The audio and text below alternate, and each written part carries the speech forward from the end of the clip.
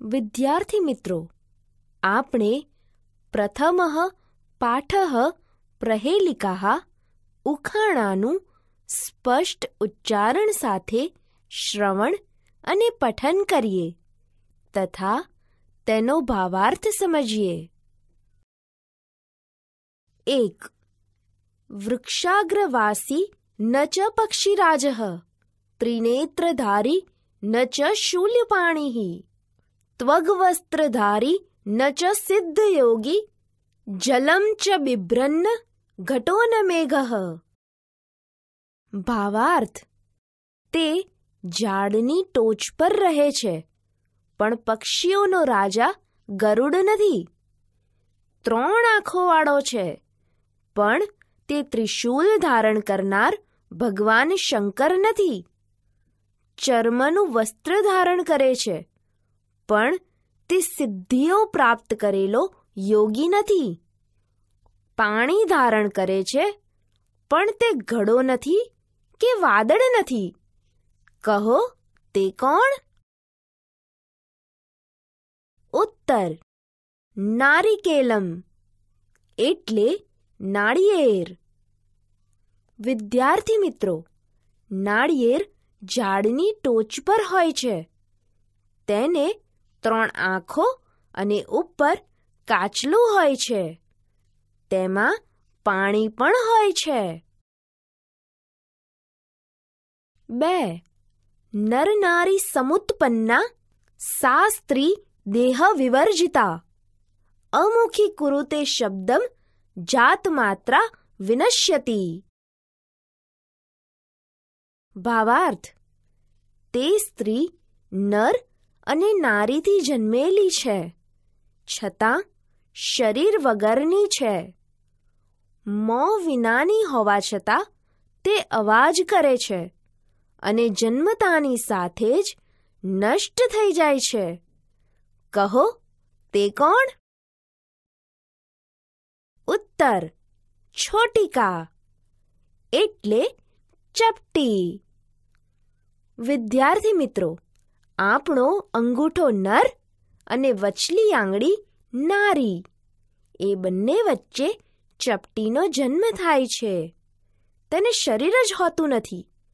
વળી મુખ ન હોવા છતાં તે અવાજ કરે છે અને જન્મતાની સાથે જ તે નષ્ટ થઈ જાય છે. ત્રણ. કૃષ્ણમુખી ન માર્જારી દ્વિજિહ્વા ન ચ સર્પિણી. પંચભર્ત્રી ન પાંચાલી, યો જાનાતિ સહ પંડિત. ભાવાર્થ, તે કાળા મુખવાળી છે, પણ બિલાડી નથી. અને બે જીભવાળી છે, પણ સાંપણ નથી. તે પાંચ પતિઓવાળી છે, પણ દ્રૌપદી નથી. તેને જે જાણે છે, તે પંડિત છે. ઉત્તર, લેખની, એટલે કલમ, શાહીવાળી પેન. વિદ્યાર્થી મિત્રો, કલમનું મુખ શાહીવાળું થવાથી કાળું હોય છે.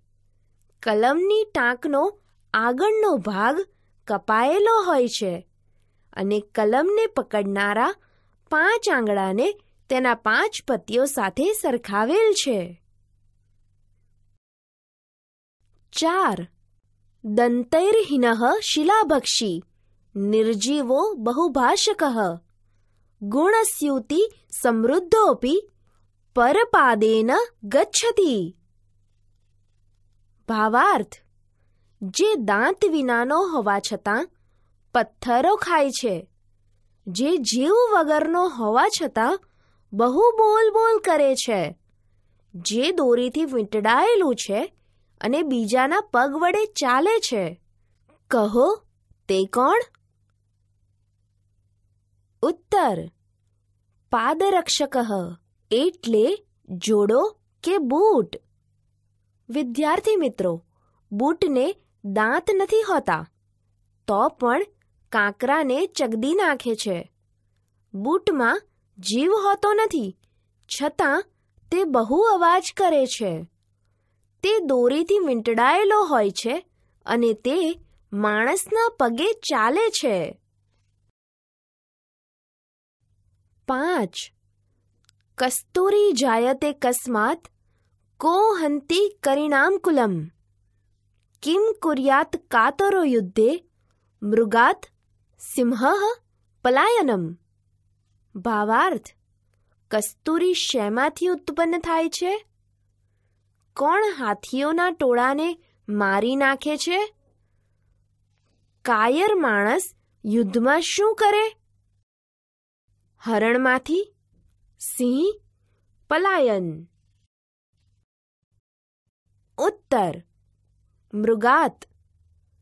કસ્તુરી મૃગાત જાયતે કસ્તુરી હરણમાંથી ઉત્પન્ન થાય છે.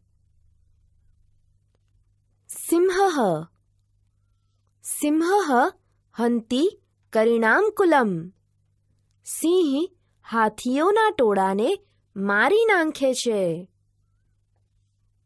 પલાયનમ કાતરો યુદ્ધે પલાયનમ કુર્યાત કાયર યુદ્ધમાં પલાયન કરે છે વિદ્યાર્થી મિત્રો આ પ્રહેલિકા અંતરાલાપનું ઉદાહરણ છે અહીં ત્રણ પ્રશ્નો પૂછવામાં આવ્યા છે.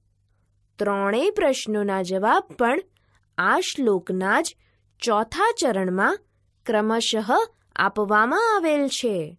આવી પ્રહેલિકાને અંતરાલાપ કહે છે. અહીં પૂછાયેલા ત્રણ પ્રશ્નો આ મુજબ છે.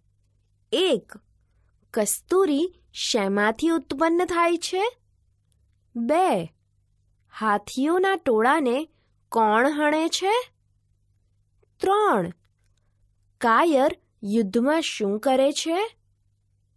શ્લોકના જ ચોથા ચરણમાં આપેલા જવાબ ક્રમશઃ આ મુજબ છે. એક.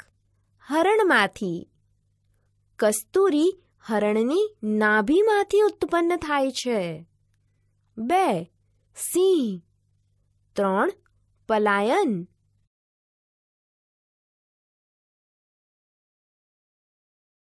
આગળના તાસ પર